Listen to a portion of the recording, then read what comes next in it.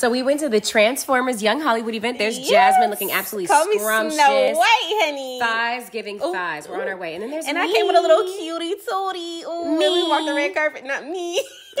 oh, and they was asking us questions about what our spirit animal will be on the carpet, and I said snow leopard, and you said a beetle. you're an idiot. We saw our friends. Here our friends looking flyer Ooh, McFly. Monochromatics was monochromatic. This this bartender was going off. He was so lit. I was like, please don't hurt nobody. I was like, call me.